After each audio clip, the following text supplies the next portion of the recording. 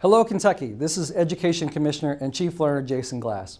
I want to take some time today to share my gratitude for all of our school bus drivers on School Bus Driver Appreciation Day.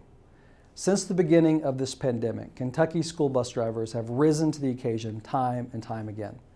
From delivering food and homework to students during extended periods of virtual learning, to being the first and last point of contact for many of our students each, each day, too often, our school bus drivers are the unsung heroes of our education community.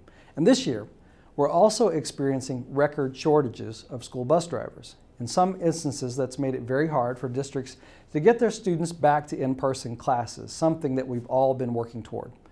If you've ever considered becoming a school bus driver, now is the time to reach out to your local school district and see how you, you can become a vital part of your school district. On this School Bus Driver Appreciation Day, I encourage our school and district leaders, as well as our students, teachers, and support staff, to reach out and show their appreciation for the school bus drivers in your community. On behalf of the Kentucky Department of Education, thank you to each and every school bus driver in the Commonwealth. Your efforts do not go unnoticed, and we're incredibly thankful for your dedication to your communities.